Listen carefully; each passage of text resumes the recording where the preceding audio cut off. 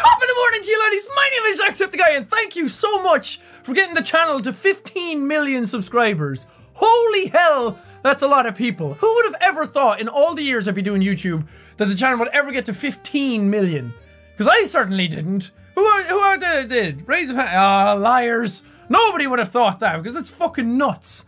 Uh, and I know I say thank you a lot, and I know I do the same types of milestone vlogs over and over again, but it's only because I really want you guys to know how much I appreciate everything you do for me. Um, I know if saying it too much can come across as like, yeah, we get it, you, you said this last time, but seriously, I do still mean it every single time one of these things happens because I'm just flabbergasted by the fact that I still get to do YouTube. Like, it's a fucking miracle that I get to do YouTube in general at all that this is the type of thing that I get to do. That I get to sit down and talk to a camera and so many loving and caring people sit there and actively listen and watch this stuff every single day. Uh, some of you make it part of your daily routine all the time and you never miss an upload. And that's so cool. I can't thank any of you enough for everything you've done for me. Um, all I can do is really hope that I'm doing you guys proud and that everything I upload is entertaining. You think that I'd be getting good at this by now? That after so many subscribers and years of doing it and milestones and all the videos I've uploaded that somehow I'd be some sort of expert on all of this by now, but nope. Still, still going along day by day trying to figure out what the hell I'm doing. Um, but it's great to have a community there that supports what I'm doing and sometimes I mess stuff up and sometimes I don't do things perfectly and it's great as well that I don't know that there's this air around me that makes people feel like they don't have to walk on eggshells. That you feel like if I do something wrong, that you can criticize that. Or if I do something terrible, that you can actually speak up about it. Not everyone pledges unfledging loyalty to the Jacksepticeye name for just because it's Jacksepticeye or anything like that. And that's really cool and that's really healthy, I think. It's a really important part of doing YouTube because as I said before, and I, I'll keep saying for as long as I do YouTube, is that if you surround yourself with people who just say yes all the time and that you're just listening to people who agree with you all the time and you ignore everybody else. Like people say ignore the haters. But sometimes sometimes the haters have good things to say. Sometimes the haters have actual valid criticism to input. And if I just ignore them, then what am I left with? Just an echo chamber of people who agree with me and an ego the size of fucking uh, Jamaica. I don't know, I was trying to think of a place and Jamaica was in my brain for some reason. Love you, Jamaica! But seriously, it's great to have that sort of open-minded community and that back and forth. I keep saying this all the time as well, is that this is a two-way street. That I do things, you're allowed to say stuff back, I'm allowed to say stuff back, and in this sort of in this sort of cycle of listening to each other, we all like learn what's going on and we all get on the same page and it's so important to just listen to each other, especially in this day and age where people like the outrage culture where if you don't agree with me, I'm blocking you on Twitter, I'm not listening to you anymore. And again, that comes back to the whole echo chamber type of thing because I'm, I'm not perfect and I'm not arrogant enough to sit down and not listen to other people's opinions and try and change my own and open up my mind to the possibility that sometimes I might be wrong. Can I be frank with you guys for a minute? If you if you'll allow me to just somber out the mood a small bit. I know I talk a lot about positivity and I talk a lot about joy and sharing your energy with people and trying to make people happy all the time and everyone should just be nice to each other. And I do truly believe in that, but I also I'm also very much aware that the world is not a perfect place. I'm not sitting here to preach positivity to try and just make all your troubles go away. I know the world can be a very shitty place for a lot of people. I'm very privileged to be in the position that I'm in. I'm very I'm very very lucky to be able to do what I do day after day but not a lot of people are. And some people go to YouTube as some sort of stop away from their lives. And if I can be any sort of any sort of joy or positivity in a in a day full of shit, in a sea full of darkness, then that will bring me so much happiness. If I can just distract you away from the world for 5 minutes, 20 minutes, however long each day, as I said before, I will consider what I do a success. Because nobody is perfectly happy all the time. Nobody is at 11 all the time. Not even me. Even though that that might come across in my videos all the time and everyone always asks me, how are you so positive? How do you remain so positive? And in my videos, I feel like there's a responsibility there to share some sort of joy with the world. And not in any sort of fake way, not in any sort of forced way, to be like, hey, be happy or else. It's more of a case of trying to show you the best of me. So if you want to live vicariously through that and you want to go along on this journey and feel happy and just, as I said, distract yourself away from the world for five minutes, then so be it. That would be amazing. And when I get in here and I make these videos in this, I guess you could call it like my little safe space, that I feel like I'm the best version of myself when I make my content. So I don't want it to ever come across that I'm I'm being fake or I'm pandering for your attention. I, I I work very hard at what I do, and I try to give you guys a good time, and I try to entertain you. So again, if I can distract you, then or if I can just bring any sort of joy into your life. If you're already happy, then maybe I can just add to that. But if you're having a tough day, then hopefully I can distract you away from that tough day for any length of time, just so you can forget about it and have some entertainment and have some fun. Because I get a lot of people who come to me about different mental states and different mental issues and different traumas that they've gone through. Some people have depression, some people have bipolar, some people have tried to kill themselves, some people are thinking about killing themselves. And that's a lot to take in for any one person. And there's a lot of people telling me these things all the time and I I truly empathize with them. And I try my best to listen out to everybody and take everybody seriously and listen to whatever you're going through. And I definitely take it very seriously. And I definitely try and get that across and try and make you feel safe while you're here and that I, I actually am some sort of a friend to you. But at the same time, I do want to put it out there that I am not a cure for everything.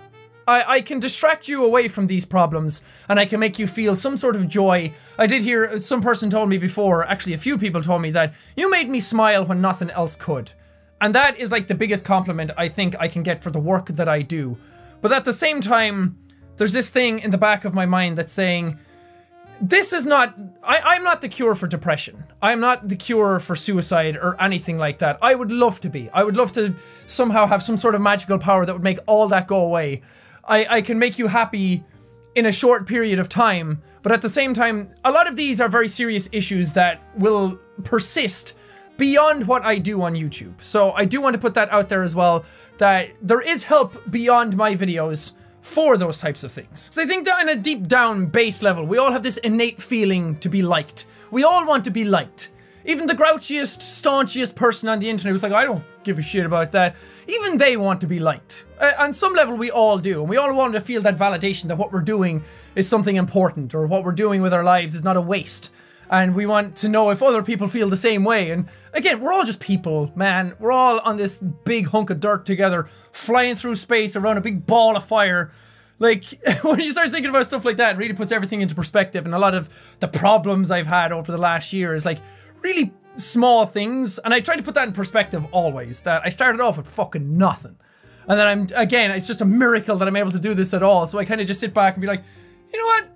Okay, yeah, maybe this isn't the end of the world for me. And in all of this altogether, like, no, no one can do this alone. Nobody can, like, spread joy to every single person on the planet. Nobody is perfect. We all need somebody out there to help us. And you guys are out there helping me. And hopefully in some regard, I can help you as well and give, give something back for everything that you've done for me and all the all the times you've watched what I do and give me feedback and laughed at the silly jokes I make or anytime I live stream and you show up and just hang out and talk to me. It's it's really cool and I'm really happy about that and I, I can't thank you enough. There's also this aspect of YouTube that now that the channel is huge, like 15 million subscribers is pretty damn big and it's it's quite a substantial channel and it's kind of scary in its own right, but also with that comes a lot of responsibility and a lot of weight is thrust upon your shoulders. And the same with anybody with a strong social media influence or any sort of strong following on the internet. It doesn't even have to be 15 million. Um, a couple of thousand is also quite a large following on the internet. And with that comes a huge responsibility. And whether you want it or not, whether you think you deserve it or not, doesn't really matter. The responsibility is there. And I've always been an advocate to do good things with that. Like, not try and use that for any sort of personal gain, not use it for any sort of like scummy tactics or anything like that. I always want to try and give back. And I know sometimes I haven't always done that, and sometimes I try and doesn't always succeed. But I'm always trying to give back some sort of form of entertainment, or joy, or positivity, or happiness, or some sort of advice, inspiration, anything at all. Anything that I can give, I try to give. And in a lot of my YouTube career, I've been sort of naive and childish with a lot of things.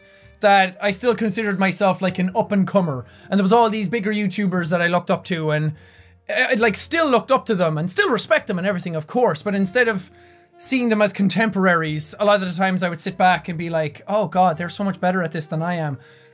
And sort of have like this lack of confidence in what I'm doing. And I, I think it's about time that I try and change that and stop being so childish and naive about everything. Because I, I would always wait for other YouTubers to do things. I would wait for somebody to do something cool and then be like, oh, that's a cool thing. Maybe I'll try that out. Or Something like that. I think it's about time I start trying to carve my own path properly. Um, not not in any sort of pretentious or cocky way or anything like that. I, I'm still going to try and be humble and genuine about everything I'm doing and just bring you guys along on this journey. But I'm going to try and do things more for myself instead of relying on others to try and get me through a lot of what's going on and believe in myself a lot more. And I think that that's really important as well. That some people have been giving me really good advice this year to just believe in what you're doing. Um, and I've always agreed with this as well, is that people can see through pandering a mile away. That if you're doing something just because you think that's what people want to hear, or you're saying stuff because you think that's what your audience wants, people will see that a mile away. So be open, be genuine, be honest with people. And that's what I've always built this channel on, and hopefully it's still there, and hopefully you still believe me when I say that thank you and that I, I love what I do and I appreciate everyone who's here. And I'm not just saying it because I think that that's what you want to hear. I still a lot of growing to do, a lot of evolving and a lot of learning, but that's exciting because it means that there's still stuff to do and that I, I don't feel like I've peaked, that I, I want to try harder and I want to do cool things and like create new goals because it, it's very easy to be like, okay, I'm going to do YouTube. I'm going to get a lot of subscribers, going to get a lot of views. And then if that happens, you're like, shit, what do I do now? Where, where do I go from here? Um, so I think it's important to always set new goals for yourself and do as much as you possibly can. And I, I, I just want to work harder. And I think that this year is going to be a very, very big year for me. I know I said that last year as well, and I said that at the start of this year, but because I'm moving and because I'm doing all these different things and I'm trying new stuff on my own, it's very scary, but it's also really exciting because I cannot wait to dive into them and I cannot wait. Like even in my personal life, there's a lot of very adult things that I'm doing. So I think it's about time Jacksepticeye stopped being a fucking boy and grew up and started doing things for himself and bring you guys along. And I think it's going to be a really fun time. But thank you guys for 15 million subscribers. Thank you always for the respect and understanding. And thank you for respecting each other and being so open-minded and talking to each other all the time. Because I, I keep saying that as well. That's very important. And thank you for not getting some sort of like God complex ego of a community as well. That you don't think you're better than anybody else. That That's really important. And that's the messages that I always try and send. So it's it's nice to see that that's sinking in and people take that on board and go along with it. That's really cool. So thank you so much. But also, thank you guys so much for watching this episode. If you liked it, punch the like button in the face like a boss. And high fives all around. Whoosh, whoosh. Thank you guys, and I will see all you dudes. Let's